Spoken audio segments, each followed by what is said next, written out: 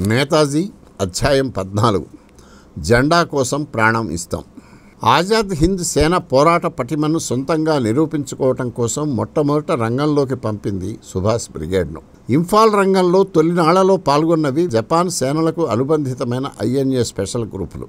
సుభాష్ బ్రిగేడ్కు అప్పగించిన విధులు ప్రధానంగా రెండు. ఒక బెటాలియన్ కలాడన్ లోయలో బర్మాను తిరిగి వశం చేసుకోవటానికి కమ్ముకొస్తున్న బ్రిటిష్ వారి వెస్ట్ ఆఫ్రికా డివిజన్తో పోరాడాలి. మిగతా రెండు బెటాలియన్లు చిన్ కొండలలోని కీలకమైన దారులలో శత్రువు అడుగు పెట్టకుండా రక్షించాలి. ఐఎన్ఏ సత్తా ఏమిటో జపాన్ సంశయాత్మలకు తెలియజెప్పాక వాటిని ఫస్ట్ డివిజన్లోని మిగతా రెండు రెజిమెంట్లను కోహిమా ఇంఫాల్ ముట్టడిలో వినియోగించాలని ఇంఫాల్ వశమయ్యాక రెండవ డివిజన్ను మోహరించి భారతదేశంలోకి విజయయాత్ర సాగించాలని నేతాజీ ఆలోచన. అవసరాన్ని బట్టి ఎటువైపైనా కదలటానికి మూడవ డివిజన్ను రిజర్వ్లో ఉంచాలని యుద్ధంలో లొంగిపోయి ఆజాద్ హిందూ శ్రేణుల్లో కలిసే బ్రిటిష్ ఆర్మీలోని భారతీయ సైనికులతో ఇంకో ఐదు డివిజన్లు ఏర్పరిచి అంతిమ యుద్ధంలో ఉపయోగించాలని ఆయన ప్రణాళిక. ఈ వ్యూహం మొత్తానికి కీలకం. మొదటి ఫైటింగ్ ఫోర్స్ అయిన మొదటి రెజిమెంట్ అంటే సుభాష్ బ్రిగేడ్ యాక్షన్లోకి దిగాక ఎంత బాగా పనిచేస్తుంది కష్టాలకు నష్టాలకు తట్టుకొని జపాన్ సైనికులకు దీటుగా ఏ మేరకు నిలబడుతుంది అన్నది.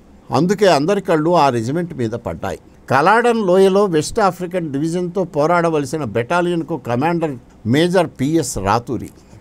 ఆయన బలగం రంగూన్ నుంచి రైల్లో ప్రోమ్ దాకా వెళ్ళింది. అక్కడి నుంచి వంద మైళ్ళు అంటే నూట అరవై కిలోమీటర్లు నడిచి టాంగస్ చేరింది. అక్కడ శత్రు విమానాల దాడిలో పదహారు మంది సిపాయిలు మరణించారు. మళ్ళీ టాంగప్ నుంచి ఇంకో రెండు వందల నలభై కిలోమీటర్లు మార్చింగ్ చేసి మార్చి నాటికి క్వాక్టాలో బెటాలియన్ బేస్ ఏర్పరచుకున్నారు. కొద్ది రోజుల తర్వాత వెస్ట్ ఆఫ్రికన్ నీగ్రోల డివిజన్ కలాదన్ నది తూర్పు గట్టు వెంబడి రోడ్డు వేసుకుంటూ దక్షిణానికి సాగుతున్నట్టు సమాచారం అందింది. పడమర గట్టు వెంబడి ఇంకో రోడ్డు అలాగే నిర్మాణం అవుతున్నది. కలాడన్ గ్రామం వద్ద రెండు రోడ్లను కలిపేలా వంతెన గట్టి ఆ ప్రాంతంలో ఒక బ్రిగేడ్ను నెలకొల్పాలని బ్రిటిష్ వారి ఎత్తుగడ. పడమటి వైపు నుంచి ఆఫ్రికన్లు రాకుండా నిలువరించే బాధ్యత మేజర్ రాతూరి మీద పడ్డది. మూడు వందల మంది ఉన్న మూడు కంపెనీలతో రాతూరి బెట్మా చేరుకునేసరికి ఆఫ్రికన్లు పెద్ద సంఖ్యలో నది దాటి కుడిగట్టుకు వెళ్ళి కొండల్లో పొజిషన్లు తీసుకుని పొంచి ఉన్నారు. మన బలగాలు దట్టమైన వెదురు అడవుల గుండా తెలివిగా చుట్టుముట్టి బెట్మా ఎగువన దిగువన ఉన్న రెండు గ్రామాలలో చొరబడిన శత్రువులను హతమార్చాయి. ఆ ఊళ్ళను వశం చేసుకున్నాక కలాడన్ లోయ వైపు కదులుదామని అనుకుంటుండగా దగ్గరలోని పెద్ద కొండలు బెటాలియన్ పరిమాణంలో శత్రుసేన మోహరించినట్టు ఉప్పందింది. రాతూరి జట్టుకు మూడేసి వందల మంది చొప్పున మూడు జట్ల క్రాక్ ట్రూప్స్ను తీసుకుని రాత్రి చీకటి మాటున కొండపైకి ఎగబాకాడు. క్లోజ్ రేంజ్కి వచ్చాక కమాండర్ సిగ్నల్ ఇవ్వగానే మూడు జట్ల వారు ఒకేసారి శత్రువుల ట్రెంచ్ల మీద హఠాత్తుగా పడ్డారు. భారత్ మాతాకి జై నేతాజీకి జై అని నినదిస్తూ మన సైనికులు శత్రువుతో బాహాబాహి భీకరంగా పోరాడి అందిన వారిని అందినట్టు చంపారు. వారి ధాటికి ఉగ్రతకు తాళలేక శత్రువులు ప్రాణభయంతో పరుగు లంకించుకున్నారు. పడవలు పట్టుకుని పడమర గట్టుకు వెళ్ళి అక్కడ భారీ శతఘ్నులు కలిగిన తమ ప్రధాన సేనను చేరుకోవాలని ఆరాటపడ్డారు. మనవారు వాళ్ళ వెంటపడి పడవల్లో పోతున్న వారి మీద మిషన్ గన్లతో కాల్పులు జరిపి పదహారు పడవలను ముంచారు. ఆలోగా పడమర గట్టు నుంచి శత్రువుల శతఘ్ని దళాలు మన వారిలో పద్నాలుగు మందిని చంపాయి. ఇరవై రెండు మందిని తీవ్రంగా గాయపరిచాయి. తూర్పుకు చొచ్చుకు వచ్చిన శత్రువులు తెల్లవారేసరికి పడమటి గట్టుకు పలాయనమయ్యారు. ఈ సంఘర్షణలో మనవారు రెండు వందల యాభై మంది శత్రు సైనికులను హతం చేశారు. ఆయుధాలను ఎమ్యునిషన్ను భారీగా పట్టుకోగలిగారు. వాటికి తోడు రుచికరమైన బోలెడు ఆహారం కూడా. శత్రువుని గెలిచిన ఆనందంతో చాలా రోజుల తర్వాత సైనికులు సుష్టుగా భోంచేశారు. ఆలోగా మన వారికి సాయంగా జపాన్ సేన అక్కడికి చేరుకున్నది. అందరూ కలిసి నదికి రెండు వైపులా లాఘవంగా సాగి భీషణ సంగ్రామం తర్వాత ఉత్తర దిశన రెండు ముఖ్యమైన గ్రామాలను పట్టుకోగలిగారు.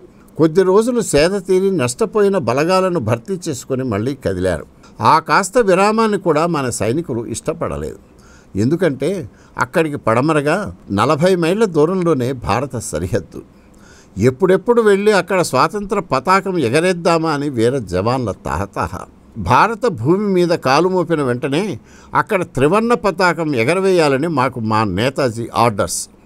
రెస్ట్ కోసం ఆగకుండా వెంటనే అక్కడికి పోదాం పదండి అంటూ వారు జపాన్ ఆఫీసర్లను తొందర పెట్టారు.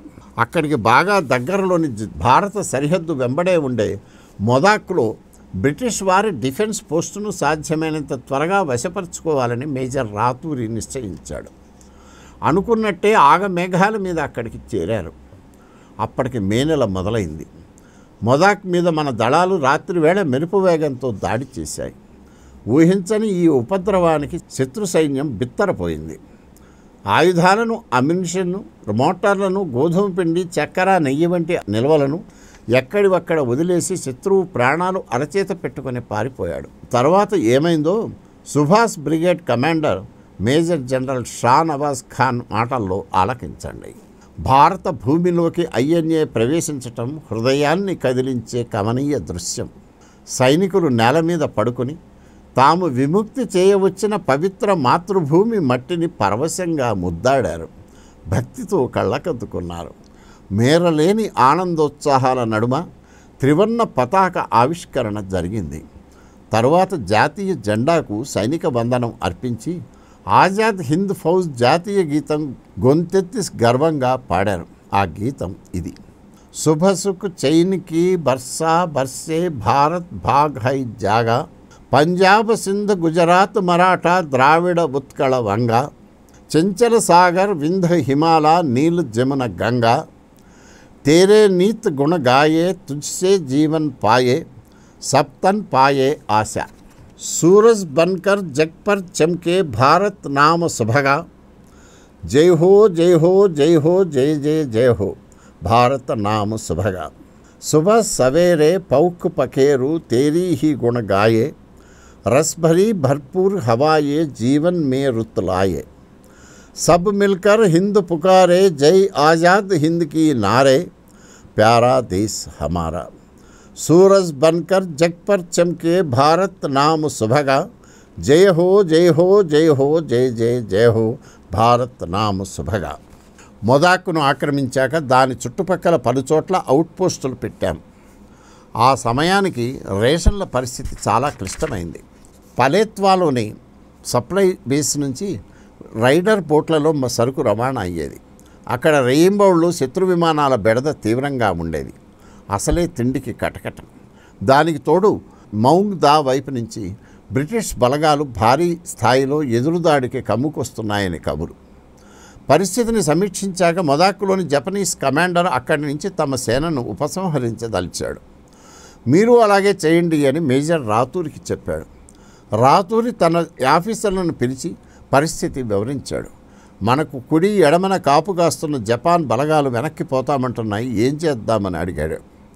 వాళ్ళను వెళతామంటే వెళ్ళనివ్వండి. ఢిల్లీ వెళ్ళమని కదా మనకు ఆర్డర్స్. ఢిల్లీ ఇంకా ముందుంది. ఒకసారి భారత గడ్డ మీద జాతీయ జెండా పాతాక దాన్ని పీక్కుని ఎలా వెనక్కి వెళ్ళిపోతాం? ఇప్పటిదాకా ఎదురుపడ్డ ప్రతిసారి శత్రువు పీచమణిచిన మనం ఇప్పుడు శత్రువుకు భయపడి వెనక్కి ఎలా పోతాం? No sir. టోక్యో మన వెనక వైపు ఉన్నది కనుక జపాన్ వాళ్ళను వెనక్కి పోనీయండి. మన గమ్యం ఢిల్లీ ఎర్రకోట. అది మనకు ముందు వైపు ఉంది కాబట్టి వెనుదిరిగే ప్రసక్తే లేదు అని ఆఫీసర్లు ఒక్క గొంతుతో అన్నారు.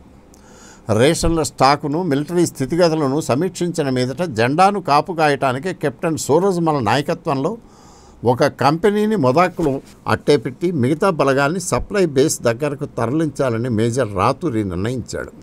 శత్రు సైన్యం విరుచుకు పడనున్నదని తెలిసి కూడా కొద్ది సంఖ్యలో నిలవటం ఆత్మహత్యతో సమానమే. ఆ సంగతి ఎరిగి ప్రాణాలున్నంత వరకు జాతీయ జెండా గౌరవం నిలపాలని నిశ్చలంగా నిలబడిన భారతీయుల దేశభక్తికి గుండె ధైర్యానికి జపాన్ కమాండర్ చెలించిపోయాడు. చావు బతుకుల్లో ఐఎన్ఏకు తోడుగా తాను ఒక ప్లాటూన్ను అక్కడే ఉంచి వెళ్ళాడు. అంతేకాదు డైరెక్ట్గా కెప్టెన్ సూరజ్మల్ కమాండ్ కింద పనిచేయమని తన ప్లాటూన్కు ఆదేశాలు ఇచ్చాడు ఒక విదేశీ ఆఫీసర్ కమాండ్ కింద తమ ట్రూప్స్ను పనిచేయమనటం జపాన్ సైనిక చరిత్రలోనే అపూర్వం. అది ఆఫ్టర్ ఆల్ ఓ గజం గుడ్డ. ప్రాణం కంటే విలువైనది కాదు అని కెప్టెన్ సూరజ్ మల్ అనుకోలేదు. అతడి సహచరులు అనుకోలేదు. వారి దృష్టిలో అది భారత జాతి పరువుకు ప్రతిష్టకు ప్రతీక. ఒకసారి మాతృభూమిపై జాతీయ పతాకం సగర్వంగా ఎగరేశాక శత్రువుకు భయపడి దాన్ని పీక్కొని పారిపోవటం కంటే ఆత్మహత్య మేలు.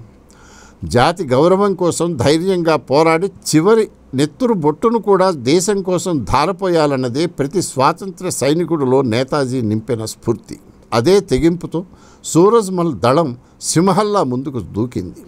శత్రుసేన తనను వెతుక్కుంటూ వచ్చి వేటు వేసే లోపే ఎదురుదాడి చేసి ఆజాద్ హింద్ సైన్యం తడాఖా చవి చూపించింది. అన్నిటికంటే ఆశ్చర్యం మహాబలశాలి అయిన శత్రువుతో మళ్ళీ మళ్ళీ భీకరంగా పోరాడి కూడా చెక్కు చెదరక అజేయంగా నిలబడింది. కెప్టెన్ సూరజ్మల్ దళం మొదాక్కులో పంతొమ్మిది వందల నలభై నాలుగు మే నుంచి సెప్టెంబర్ వరకు ఉన్నది. ఆ నాలుగు నెలల కాలంలో బ్రిటిష్ సైన్యం దాదాపుగా ప్రతిరోజు వారి మీద దాడి చేసింది. ఒక్కసారి కూడా శత్రువుకు భయపడి అడుగు వెనక్కి వేయలేదు. మన వారు ఎంత విక్రమంతో పోరాడారో అర్థం చేసుకోవటానికి ఒక ఉదాహరణ. ఆజాద్ హింద్ ఫౌజ్ లబావా వద్ద చిన్న అవుట్ పోస్ట్ పెట్టింది. ఇరవై మంది అక్కడ కాపలా కాసేవారు. ఒకరోజు ఉదయం ఎనిమిది గంటలకు నూట యాభై మంది శత్రు సైనికులు ఆ చౌకీ మీద దాడి చేశారు. వారి దగ్గర శతఘ్నులు మోర్టార్లు కూడా ఉన్నాయి. మన వారికి ఉన్నవి మిషన్ గన్లు రైఫిళ్ళు వాటికి అమ్యునిషన్ కూడా చాలా మితంగా ఉన్నది. అందుకని శత్రువు దగ్గరికి వచ్చేదాకా కాల్పులు చేయకుండా ఆగి అధాటున గుండ్ల వర్షం గురిచూసి కురిపించారు. అవతలి వైపు చాలామంది పిట్టలా రాలిపోయారు. శత్రువు బెంబేలెత్తి వచ్చిన దారిన పారిపోయాడు. మధ్యాహ్నం మళ్ళీ దాడి. శత్రు దళం ఫిరంగులను మోర్టార్లను విరువుగా ప్రయోగించి దట్టమైన పొగతో అవుట్పోస్ట్ చుట్టూ తెరలా కప్పేసి హఠాత్తుగా విరుచుకుపడింది. మన వాళ్ళు కంగారు పడక స్థిమితంగా ఉండి దాడిని సమర్థంగా తిప్పికొట్టారు. చౌకీ చుట్టూ శత్రువుల కళేబరాలు పడిపోయాయి. ప్రాణాలతో మిగిలిన వారు పరారయ్యారు. ఆ వేళ ఎలాగైనా మన చౌకీని పట్టుకోవాలని శత్రువులు పంతం పట్టారు. తమ కంఠంలో ప్రాణం ఉన్నంత వరకు దానిని కాపాడుకుని తీరతామని మన సైనికులు అంతే పట్టుదలతో ఉన్నారు. ఆ రోజు మూడవ దాడి సాయంత్రం ఐదు గంటలకు మొదలైంది. ముందుగా ఫైటర్ విమానాలు గంటసేపు చక్కర్లు కొట్టి చౌకీ మీద పెద్ద పెద్ద బాంబులు వేశాయి. తరువాత మన ట్రెంచ్ల మీద గురిపెట్టి మెషిన్ గన్లతో తెరిపి లేకుండా కాల్పులు జరిపాయి. సాధారణంగా ట్యాంకులలో సాయుధ సైనిక శకటాలలో వాడే ఇరవై ఎంఎం బుల్లెట్లను అక్కడ ఉపయోగించారు. అటు తర్వాత శతఘ్నులు మోటార్లతో గుండ్ల వర్షం.